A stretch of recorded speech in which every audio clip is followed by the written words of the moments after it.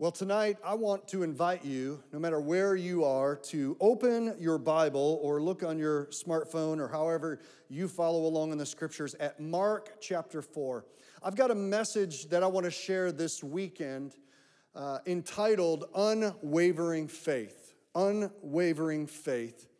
And I want to draw your attention to verse number 35 of Mark chapter 4. And it starts like this It says, On that day, when evening had come, he said to them, Let us go across to the other side. And leaving the crowd, they took him with them in the boat, just as he was, and other boats were with him. And a great windstorm arose, and the waves were breaking into the boat, so that the boat was already filling. But he was in the stern, asleep on the cushion. And they woke him, and they said to him, Teacher, do you not care that we are perishing? And he awoke and he rebuked the wind and he said to the sea, Peace, and be still. And the wind ceased and there was a great calm. And he said to them, Why are you so afraid? Have you still no faith? And they were filled with great fear and they said to one another, Who then is this that even the wind and the sea obey him? Unwavering faith. You know, this weekend I had planned on continuing our series entitled Building a Radiant City. It's our vision series that is part of our strategic vision initiative to expand and uh, and we've been working through the book of Nehemiah looking at principles of that. And so I had planned on continuing in that vein this weekend, and then this week happened. And so what I've decided to do is push that series off until things kind of normalize again. But in the midst of it, this week, when everything changed, when the stock market took a historic drop a couple different times, when the spread, obviously, of coronavirus uh, across the United States and now into our own state of Michigan became headline news, and then the, the governor of our state uh, requested that large gatherings be kept to a minimum it kind of changed everything, and not just for us. Obviously, it's changed everything for churches all over the country. We are living in unprecedented times. And this is a, a, really in our own lifetime, this is an unprecedented moment. We've never experienced anything like this before. And in the midst of it, whenever you find yourself in unprecedented moments or uncharted waters, you have to stop sometimes and you have to ask the question maybe God hasn't caused this, but somehow, what is God saying in the midst of it? And that's kind of what I did. I went to the Lord. I just said, obviously, everything's changed. How do you want us to approach this weekend? What kind of message do you want me to bring? Are we going to do it online? Are we going to gather? And then when we realized that we weren't going to be able to gather, okay, Lord, what do you want me to say to our people? This is the passage that the Holy Spirit immediately took me to. Because, in a way, what we are experiencing is very similar to what the disciples experienced in this moment. They find themselves in the midst of a storm that they had not planned on. And that's exactly where our nation has found itself. It's where we, as a church and a community, and even in our city of Kalamazoo and our region of Southwest Michigan, we found ourselves in this very same place. And my hope tonight is that this message will help calibrate all of us to be people of unwavering faith unwavering faith in the midst of the storm. See, because just like in this story, storms come suddenly. You don't plan on a storm on the Sea of Galilee because it's surrounded by mountains. The winds will come from the southwest direction and they will sweep across down into the bowl of the Sea of Galilee and create massive waves and a massive storm. Most of the time it's in the afternoon, but in this particular situation, it happened in the evening when it's darkest, when it's difficult to navigate. And it created and it stirred in the disciples' hearts a sudden panic. They found themselves in the storm trying to figure out how to navigate their way to the other side. After all, that's what Jesus had said was the mission and was the goal. We're going to the other side. But now they find themselves suddenly in a storm. It's the thing about storms storms come up suddenly and they pass quickly. And what remains after a storm is very simple. What remains after the storm is what we learn from the middle of the storm. That's the only thing that remains on the other side, is what we learn in the middle of the storm. The disciples would be forever changed and transformed when they finally did get to the other side. The storm was gone, the water calmed. Jesus said, Peace be still to the winds and the waves, and they obeyed him, but yet they would never be the same. And that's what we need to take a look at when we go through storms in life. Storms don't always look like boat rides and waves, they don't always look the same, but storms have a lot of the same characteristics. Doesn't matter what kind of storm you're going through. It can be an economic storm, it can be a your job is on the line storm. It could be a fear or a, a, a, true health crisis as a storm. A storm is not so much about what goes on around us. Oftentimes, the greatest storms that we face are the ones within us. When we're faced with contrary winds, when things shift around us, when the economy drops 2,000 points, when the news constantly is talking about the fear and the threat and what seems to be overwhelming odds, all of a sudden we begin to experience storms, not just on the outside, but storms on the inside of us. And storms are very good at revealing things. See, storms reveal a lot of things. They reveal a lot of things about ourselves. Oftentimes, when storms hit, what we find is that they whip up the waves in places of our lives where most of the time we feel in control. Think about these disciples. Jesus had just finished up a you know, a, ministry campaign and he's tired. And he tells his disciples, there's multiple boats, probably more than just the 12, but Jesus gets into the boat with his 12, and these are experienced mariners. They're experienced fishermen. They know boats, they know the Sea of Galilee, they know the winds. It's like second nature to them. This is where they've grown up in their whole life. This is the land of familiar and the, the, the comfort zone, if you will. But in a moment, when a storm hit what had been familiar to them, when the winds came and began to change the composition of the comfort zone, the comfort zone is turned into a panic room and a battle zone. Because now the battle is on. They can't see, the water is coming up over the deck, it's beginning to fill up. They don't have any light to recognize where they're going, and yet Jesus is asleep in the bottom of the boat.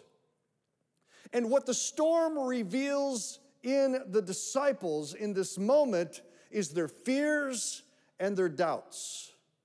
You see, when Jesus told them, let's go to the other side. What they didn't realize is before they could ever get to the other side, which is the eastern side of the Sea of Galilee, where they would have their greatest ministry, they would see the, the greatest results, demoniacs set free, healings, miracles take place. Before they could get to the other side, Jesus had to deal with their other side. See, because there's, a t- there's two sides to us as followers of Jesus that are constantly in this tension. The one side of us is the part of us that loves Jesus, believes God, loves His Word. We know that His presence is with us. We sing songs about the presence of God being with us. We love church. We love His Word. We read it. Our faith rises up on the inside of us. There's that side of us. But there's another side. And that other side of us is only revealed in the storm. It's the side of us where fear rises up because of the waves. It's the other side of us where our doubts rise up because Jesus doesn't seem to care. That's what the disciples said to Jesus. They said, Do you not care that we're perishing? And their fears, what, how did their fears manifest? It says that the waves were breaking in, and what was it doing? It was threatening them and their security. This is the other side of them that Jesus was dealing with. When Jesus said, Let's go to the other side, his primary meaning was we're going to get to the other side of the lake, but they didn't realize spiritually we're also going to pay a visit to your other side. Because if we can deal with the other side where faith and doubt wants to reside, if we can uproot that, then what can be replaced by it is a stronger, more unwavering faith, the kind of faith that's going to be necessary to cast demons out of the demoniac when we get to the other side. The kind of faith that's going to be necessary to face trials in the midst of persecution. The kind of faith that's going to be able to believe God in the middle of some very difficult situations. We got to deal with that other side. Think about what James says in James chapter 1. It says, The one who doubts is like a wave of the sea that is driven and tossed by the wind. Sound familiar? For that person must not suppose that he will receive anything from the Lord. He is a double minded man, unstable in all of his ways. The reason why Jesus needs to deal in all of us with our other side is because it creates instability spiritually in us. It's not God being mean saying, oh, because you believed a lie, you're, then you're not going to get anything from me. That's not at all the tone of the scripture. What James is writing is really the same thing Jesus is trying to get to. It's that when the waves, when the winds come, when the storm comes, it reveals all kinds of things about us. It reveals to us our fears, it reveals our doubts, it reveals the lies that we choose to believe that God doesn't care. You see, there's a, a lie that manifests, and it manifests through fears and doubt.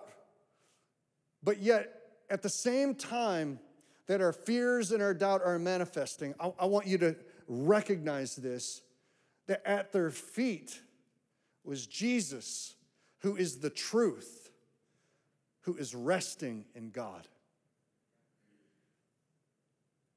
And he's not shaken and he's not awakened. See, storms don't shake Jesus, and storms don't wake Jesus. Storms just unveil Jesus. It just unveils the rest of God as he's laying there and he's at rest in the midst of the storm. What is that a picture of? It's a picture of the truth of God in the midst of lies that we're tempted to grab a hold of and say, God doesn't care. Where is God in the midst of this? Where is God in the midst of a national crisis?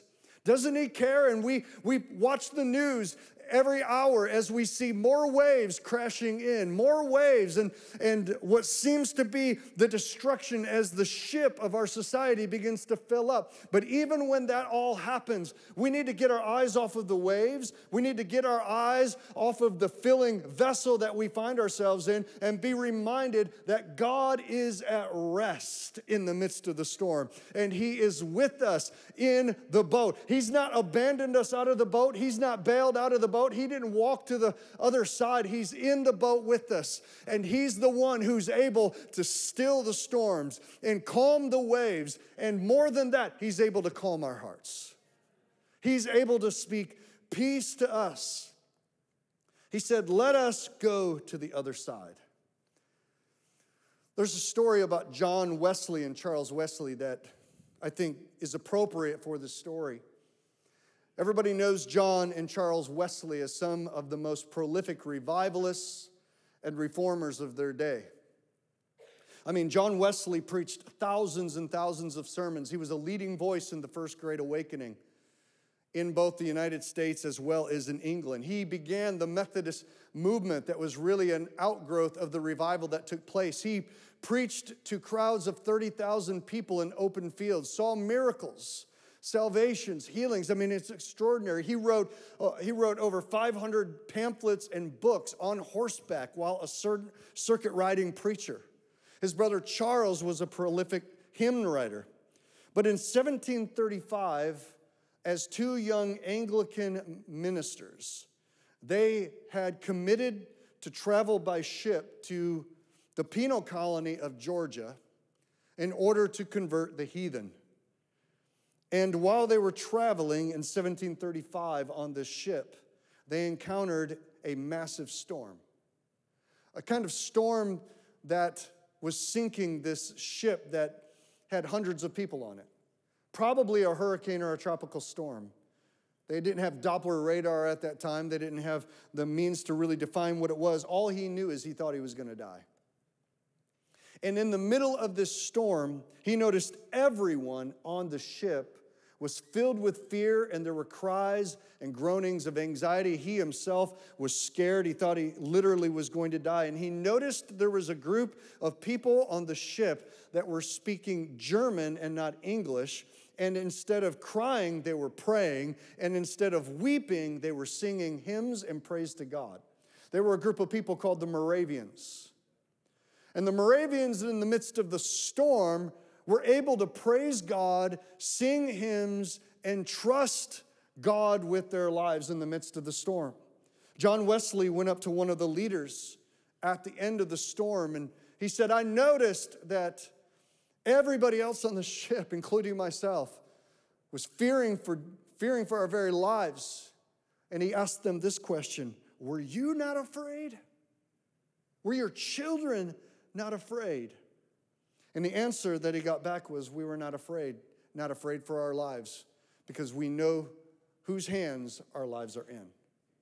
Do you know that that encounter changed John Wesley's life? About three years later, when he returned to England, he found where the Moravians were meeting, and he went to one of the meetings, and it was there that this ordained intellectual Anglican cleric finally submitted his life to Jesus Christ and was actually born again and saved and became one of the greatest voices that God raised up in England during the Great Awakening. You see, God had to deal with his other side in the middle of the storm. But when he finally got him to the other side, when he got him to the shores of both America and then when he got him to England, something had changed on the inside of him he had resolved the issue. He was no longer double minded. He knew who he believed in. He knew the power of God. He knew the answer to the question of who is this? Because he had encountered the presence of Jesus and the rest of God in the midst of the storm. See, the disciples asked this question. Jesus stands up when they wake him up. They rouse him. They say, Jesus, we're perishing. Don't you care? It was only his disciples screaming in his ear that actually woke him up. I mean, that's deep sleep. Just, whoa, whoa.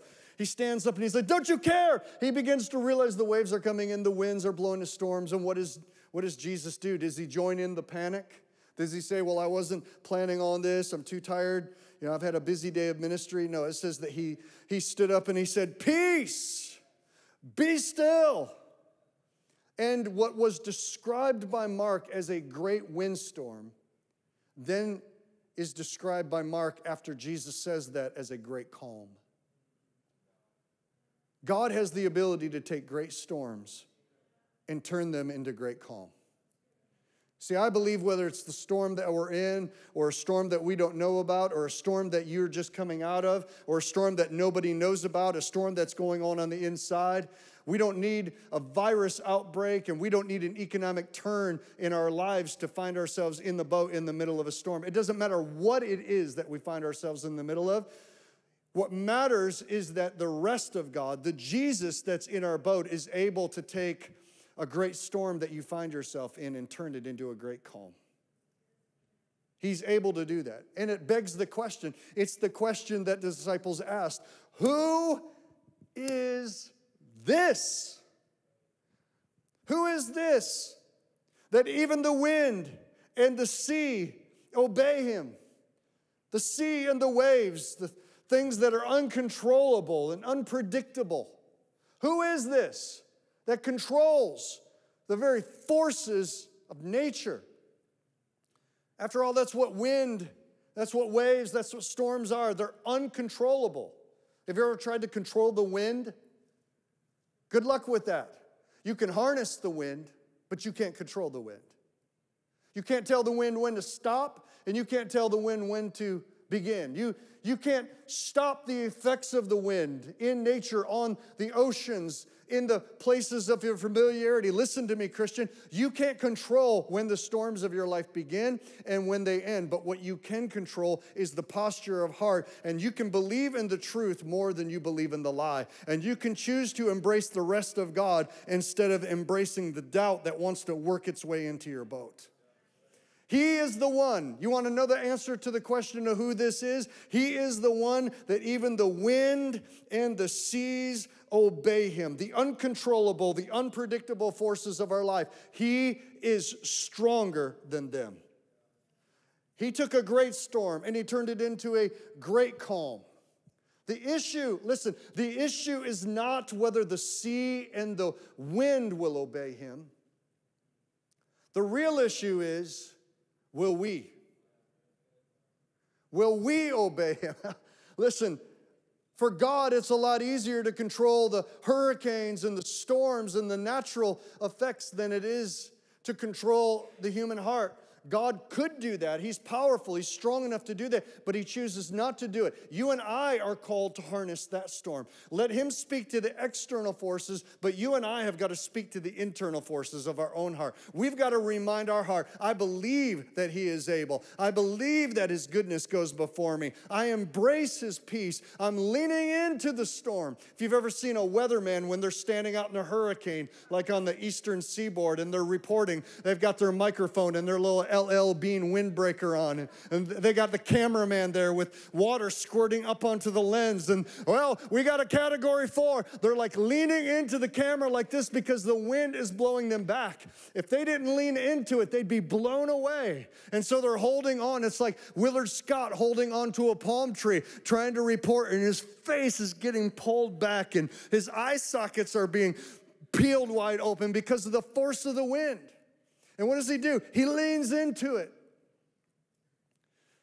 When we find ourselves in the wind, we find ourselves in an internal storm of reacting to what's going on around us. What's the answer? It's lean in, it's not lean back. It's lean in. It's to become par- to become mobilized in that moment and not become paralyzed by fear. It's the greatest question that we need to ask our heart is yes, I know that the wind and the sea obey him, but am I going to obey him? Am I going to believe him? Am I going to be paralyzed by what I'm going through right now? Am I going to be paralyzed by the fear? Am I going to hunker down and become very self centered and self preservationist? Am, am I going to let my imagination become a video screen that I let the enemy show the latest predictions and demise that He has for me and for my future? Am I going to allow myself to be paralyzed in this moment, no matter what the storm is? Am I going to let the lies be the credits that run on the screen of my imagination, keeping me up at night, anxiety ridden, tense, stressed out? Am I, am I going to hunker down and live like it's 1999, about ready to turn into Y2K? Am I going to go back to that level of fear that everybody had at Y2K? Is that how I'm going to live? Or am I going to be mobilized by faith? Church, I just want to make it clear that when we're specifically talking about the storm of what's going on in America, I want to remind everybody this storm will pass. This storm will pass. But what is it going to reveal about us on the other side? What's it going to reveal about us? This storm is going to come to an end. Churches are going to go back to normal or a new normal. And we're going to gather again in buildings. The fear of the coronavirus will be logged away. And I'm not diminishing the significance of it. I, I, believe that we need to be wise and we need to be discerning. We need to be, we need to wash our hands. We need to stock up on, if you can, on wipes or whatever. I, there's things in the natural that we need to do, and those things are not fear. Those things are not being motivated by fear, that's being motivated by wisdom. There's nothing wrong with keeping a little distance between yourself and give somebody a little foot tap or a little elbow or maybe a little fist bump or a nice wave at somebody. There's nothing wrong with that. It's not a lack of faith to not shake somebody's hands and greet them with a holy kiss and smother them with yourself at every given moment. That's not a lack of faith. But I'm just telling you, this storm will pass. And when we get to the other side, and I'm talking about the church, big C, when we get to the other side, I don't want to look back on how we went through the storm and see that we were paralyzed. immobilized, polarized. I want to see that in the midst of the storm, we let Jesus deal with the other side of us and begin to recalibrate some things and reset us for revival.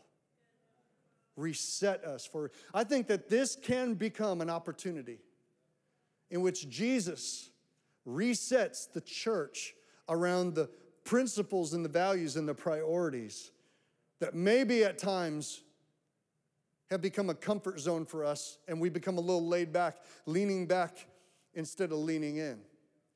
What do I mean by resetting for revival? Well, I'm talking about worship. Are we gonna lean in or are we gonna bail out? Well, we can't come into the building anymore, so, um, you know, I'm just not gonna go to church. No. What's the means that we have? How persistent are you in your worship? I'm gonna put it on my TV in my living room, and I'm gonna bring my kids in. And instead of us binging out to the Disney Channel together, this is an opportunity for us to reset worship in our home. We're gonna worship, we're gonna get up at 8 a.m., and we're gonna pray. I've never been to a prayer meeting before, but baby, we're gonna pray now.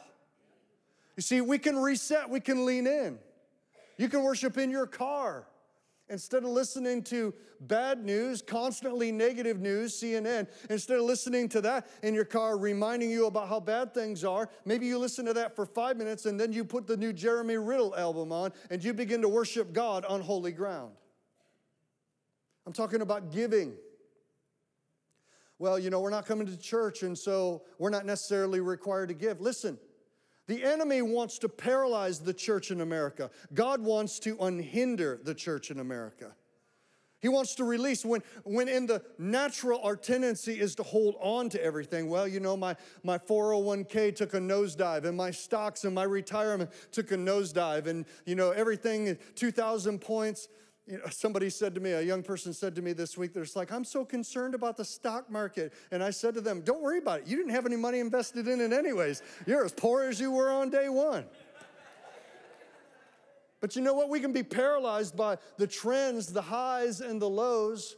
Or we can lean into it and say, you know what, this is a perfect opportunity for me to establish that I'm gonna be a tither in the house of God. I'm gonna find a way. I may have gotten off track, but I'm about to start again. And you know what, devil, you thought you're gonna, mo- uh, you're gonna immobilize me in fear about giving? I'm doubling down. I'm gonna give to missions. I'm gonna find people in my community that I can give to. I'm gonna go buy some groceries for some elderly people. I'm gonna get online. I'm gonna find where it says give online, and I'm gonna, for the first time, I'm gonna set up my recurring giving. I'm gonna give because I'm gonna reset for revival. Family, are we gonna mourn the loss of school being canceled and business and distractions and all of those things that we give our time to being removed? Or are we gonna rejoice in the new time that God has given to us as a family? We got our kids home. We don't know for how long. You know what? Double down. And I understand that there's some parents who are right now trying to wrestle with, you know, childcare and work and those kinds of things. But at the same time, we have this massive opportunity to be together more than we ever have before. And listen, all the things that are natural entertainment and sports and business and commerce and education and money and comfort have all been removed in this moment. What are we going to do with that? It's an opportunity for revival to begin in families, serving others and protecting others instead of just protecting ourselves. Social distance does not mean ministry distance. And praying for our community. You see, right now is an opportunity for us to allow what's really always been in us to be revealed, which is Greater is he that is in us than he that is in the world. Do you know that there is a great intercessor that lives on the inside of you? His name is the Holy Spirit, and he intercedes on your behalf with groanings that cannot be uttered, praying for you according to the will of God. Do you know that Jesus is the great intercessor seated at the right hand of the Father, constantly praying for you? Do you know that you were called to be an intercessor? Your prayers matter. God hears your prayers. This is not a time to back down, this is a time to lean in and to be a praying people. Holy Spirit is not intimidated at all by what's going on in this world. And I'll tell you what, there's a spirit of fear that wants to grip a hold of this entire generation. And this can be an opportunity where when people are looking for hope, people are looking for healing, people are looking for answers, people are looking for help, for the church to have its finest hour, to arise and to shine, and to do it a little bit differently than we've normally done it. But listen, we got to be trailblazers. We can't have the mentality of, Jesus, I've traveled across this sea so many times and I've never seen a storm, and so this has got to be the end. I just want to remind you that his intentions are still to take you to the other side. And when we get to the other side, when we get to the other side of this moment, and when we get to the other side of ourselves, I promise you that there is greater ministry, greater breakthrough, greater healing than we've ever experienced before. We are never going back to the other side the same way that we left the shore. It says in Mark chapter 5, they came to the other side of the sea to the country of the Gerasenes. Notice that they made it. They made it.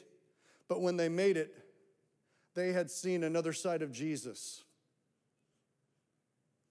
that they were unaware of before a sustaining Jesus, a resting Jesus, a peace filled Jesus a storm stopping Jesus, a wind stopping Jesus, an unwavering Jesus that stirred unwavering faith in them.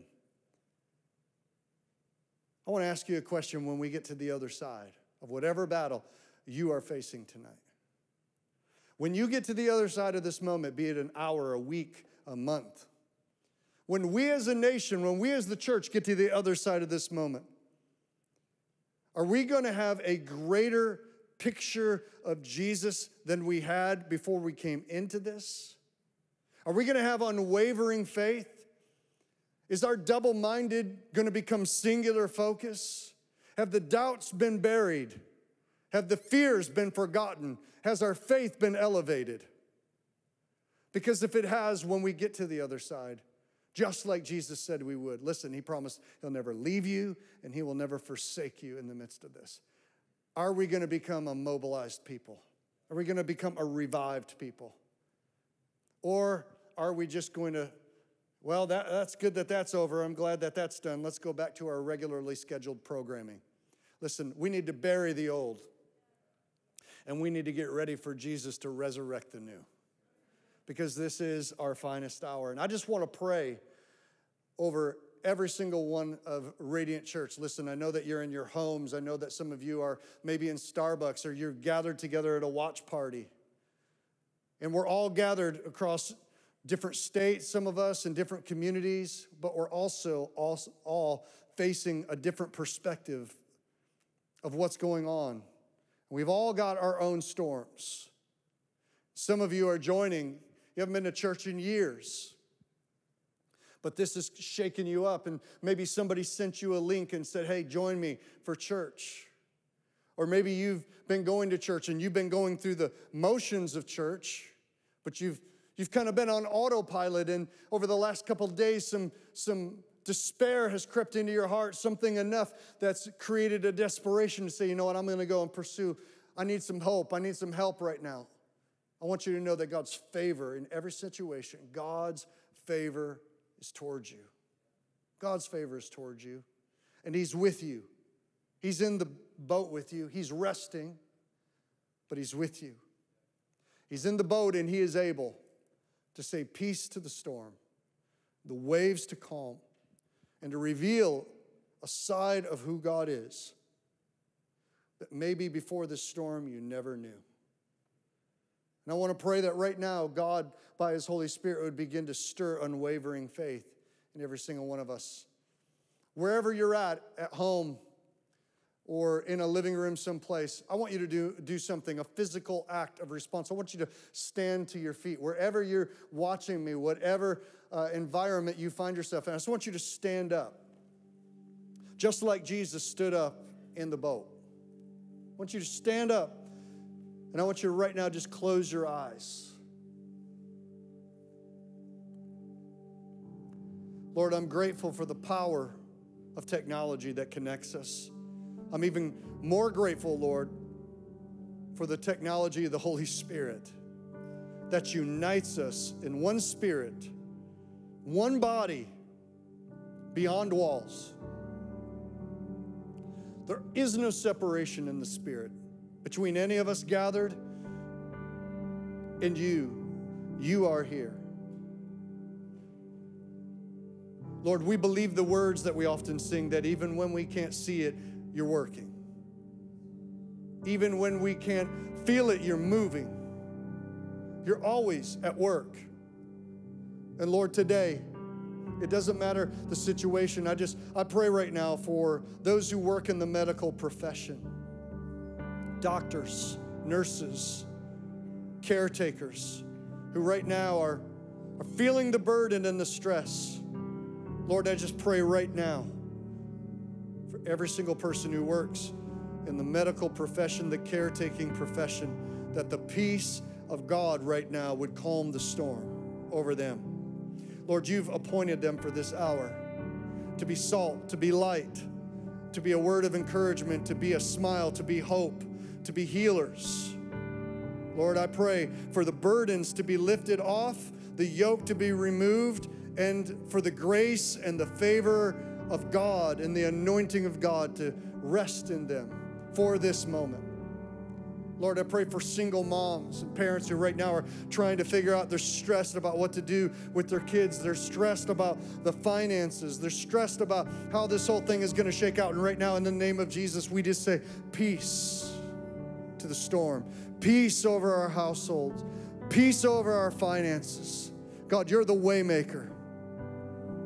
We know that you don't get shaken or awakened in the storm but you hear us when we call on your name. And you're roused to bring peace in the midst of the storm. Lord, I pray for those who are watching who are far away from you.